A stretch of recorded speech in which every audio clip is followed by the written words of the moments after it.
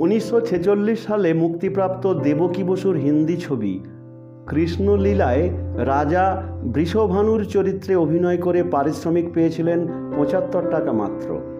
তার অভিনয় পছন্দ হয়েছিল দেবকী বসুর। তবুও পারিশ্রমিকটুকু হাতে তুলে দিয়ে তাকে সাবধান করে বলেছিলেন, আপনি কখনো নায়ক হবেন না। আপনি চরিত্রাভিনয় করবেন। সারা জীবন এই গুরুবাক্যের প্রতি মান্যতা দিয়ে গেছেন বাংলা চলচ্চিত্র জগতের সফল চরিত্রাভিনেতা কমল মিত্র। উনিশশো বারো সালের নয়ই ডিসেম্বর বর্ধমান শহরে জন্মগ্রহণ করেন অভিনেতা কমল মিত্র। বাবা নরেশচন্দ্র মিত্র ছিলেন বর্ধমানের প্রখ্যাত আইনজীবী। পড়াশোনা করেছেন বর্ধমান রাজ কলেজিয়েট স্কুল ও কলেজ থেকে। ছাত্রাবস্থা থেকেই তখনকার বর্ধমানের ছোট বড় নানা শৌখিন দলের নাটকে তিনি ছিলেন স্টার অভিনেতা। অথচ অভিনয় শিক্ষার কোনো প্রথাগত পাঠ ছিল না তাঁর। কলেজ পাশ করার পরই চোখের অসুখে বাবা দৃষ্টিহীন হয়ে পড়লে কমল মিত্রকে চাকরির সন্ধান করতে হয়। বাড়ির কাউকে না জানিয়েই তিনি সামরিক বাহিনীতে নাম লেখান। যদিও বাবার তীব্র আপত্তিতে সে কাজ তার আর করা হয়নি। বিশের দশকে ছাত্র অবস্থাতেই কমল মিত্র চলচ্চিত্রে অভিনয়ের জন্য কলকাতায় আসা যাওয়া শুরু করে দেন। কলকাতায় এলে তিনি উঠতেন দর্জিপাড়ায় তার দিদির বাড়িতে। পাশেই থাকতেন নামকরা অভিনেতা দুর্গাদাস বন্দ্যোপাধ্যায়। কমল মিত্রর ডাক্তার ভগ্নিপতির সঙ্গে দুর্গাদাসবাবুর বন্ধুত্ব ছিল। সেই সুবাদে কমল গিয়েছিলেন দুর্গাদাসের কাছে একটা সুযোগের আশায়। কমলের অভিনয় করার ইচ্ছের কথা শুনে দুর্গাদাস বলেছিলেন, এই জগতে কোনো ভদ্র সন্তানের আশা উচিত নয়। কিন্তু কমল মিত্র হাল ছাড়েননি। এরপর একদিন গুণময় বন্দ্যোপাধ্যায় নীলাঙ্গুরির ছবিতে একটি ছোট্ট চরিত্রে কাজ করার সুযোগ পান কমল মিত্র মহাশয়। চরিত্রটি ছিল নায়কের বন্ধুর, একটি মাত্র সংলাপ। অবশ্য তার জন্য কোনো পারিশ্রমিক তিনি পাননি।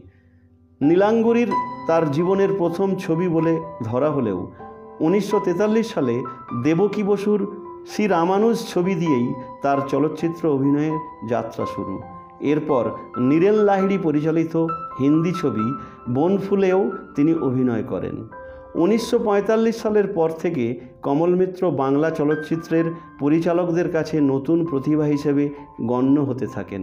দেওয়ানেয়া, আনন্দমঠ লৌহ কপাট আশিতে আসিও না, সবার উপরে বন্ধু, ভানু পেল লটারি অগ্নি পরীক্ষা চৌরঙ্গি, পিতাপুত্র, বর্ণালীর মতো কালজয়ী বাংলা ছবিতে অভিনয় করে নিজের জাত চিনিয়েছিলেন প্রতিভাবান এই অভিনেতা। দেবকী কুমার বসু থেকে শুরু করে বাংলা সিনেমার আদি যুগের বহু খ্যাতিমান পরিচালকের ছবিতে যেমন কাজ করেছেন তেমনি পরবর্তীকালে অজয় কর তপন সিংহ, তরুণ মজুমদার, রাজেন তরফদার, এমনকি সত্যজিৎ রায়ের পরশপাথর ছবিতে ছোট একটি পার্টির দৃশ্যেও তিনি ছিলেন স্বমহিমায়। উনিশশো সাতচল্লিশ সালে কমল মিত্র বিবাহ সূত্রে আবদ্ধ হন অর্চনা দেবীর সঙ্গে। এরপর বাবা, মা, দুই কন্যা ও এক পুত্রকে নিয়ে শরৎ বসু রোডের বাড়িতে থাকতে শুরু করেন কমল মিত্র। পরিচয়, তাপসী, সোনার খোঁজের মতো জনপ্রিয় নাটকে অভিনয় করেছেন কমল মিত্র মহাশয়। উনিশশো একাশি সালে তরুণ মজুমদারের খেলার পুতুল ও অগ্রদূত গোষ্ঠীর সূর্য সাক্ষী ছবিতে শেষবারের জন্য অভিনয় করে অভিনয় জগৎ থেকে চিরকালের জন্য অবসর নেন তিনি। শেষ দিকে কমল মিত্র ক্রমশ একা হয়ে পড়েছিলেন। বলতেন, প্রায় সব সহশিল্পী চলে গেল। এমনকি যারা বয়সে আমার ছোট, তারাও আর রইল না। ছবি, পাহাড়ি, জহর গাঙ্গুলি, অসিত বরণ বিকাশের সঙ্গে অনেক বছর ধরে কাজ করেছি। সেটে আর তারা আসবে না। এই কথা যখন ভাবি, তখন নিজেকে বড় নিঃসঙ্গ লাগে। এমনকি উত্তম কুমার, ভানু, জহরও চলে গেল। একদিন স্টুডিওতে দেখি পরিচালক অজয়কর ঢুকছেন। তাকে দেখে একজন অপরজনকে জিজ্ঞাসা করছে, লোকটা কে রে? সেই কথা শুনে আমারও মনে হয়েছিল আমারও বোধহয় স্টুডিও পাড়া ছেড়ে যাওয়ার সময় হয়েছে। কাউকে কিছু না জানিয়েই কমল মিত্র সরে দাঁড়িয়েছিলেন অভিনয় জগৎ থেকে। যেমন অনাহুতের মতো তার আগমন ঘটেছিল বাংলা চলচ্চিত্র ও রঙ্গালয়ে, তেমনি অনাড়ম্বরভাবে তার প্রস্থান। বাংলা সিনেমার রাগী পিতা বড় অভিমানে ক্যামেরার সামনে থেকে সরে দাঁড়িয়েছিলেন। ছেলে মেয়েদের ওপর কড়া নির্দেশ ছিল তার।